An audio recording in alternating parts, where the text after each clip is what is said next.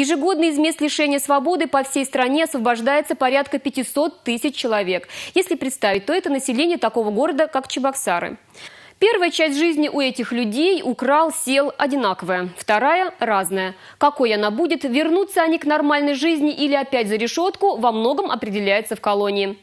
В исправительном учреждении номер два в Алатыре открылся реабилитационный центр «Аврора». Он помогает женщинам, у которых заканчивается срок, адаптироваться к свободной жизни. Репортер республики Татьяна Молокова продолжит.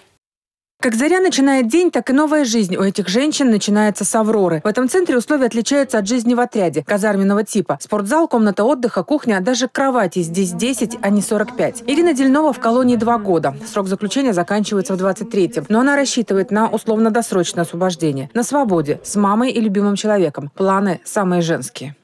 Выйти замуж и стать мамой. Ты никогда не можешь остаться один. А здесь есть такая возможность побыть наедине с собой, собраться со своими мыслями, а, даже отдохнуть. Здесь получается. А в отряде, где 45 человек, ну это минимум 45 человек, я вам озвучиваю, а, этого сделать невозможно даже элементарно книгу почитать. Mm-hmm. Вот. Здесь работают психологи с нами. Ирина и все находящиеся здесь женщины отмечают, что стало больше личной свободы. Хочешь книгу почитаешь, хочешь спортом занимаешься. Сам выбираешь, что делать в свободное время. Пока мне на свободу еще далеко, но сейчас там ближайшая у меня колония поселения, там работа угу. уже в зависимости от самой колонии.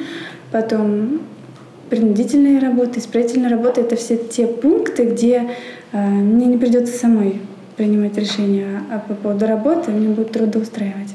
Нет альтернативы свободе.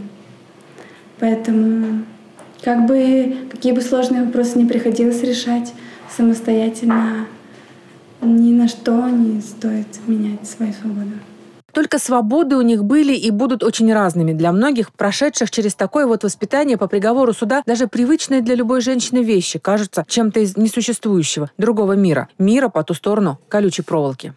Очень многие женщины, попадая в места лишения свободы, просто перестают готовить. Ну, как минимум два года, представьте, за вас это делает кто-то другой. Кроме того, некоторые сюда попадают в достаточно юном возрасте и в нормальной жизни просто не умели готовить. Вот такие центры «Аврора» помогают в том числе и восстановить или приобрести кулинарные навыки.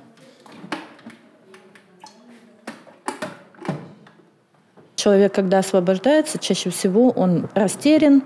Вот, то есть люди привыкли считать, да, и общество, что какими-то агрессивными людьми освобождаются из мест заключения, но на самом деле это не так. Чаще всего это растерянность и так называемая вынужденная беспомощность. Вы довольны тем, что получилось? Вот как, как по-вашему? А, тут не, нельзя быть э, недовольной, и на самом деле, да, а, условия, понятно, что они больше важны не для меня, они важны для женщин, которые будут здесь отбывать наказание. А мне лично очень приятно, что очень много здесь было сделано а, руками самих осужденных. Это рисунки на стене, да, допустим, очень красивые. Вот, я знаю, что также как бы они принимали участие в косметическом ремонте.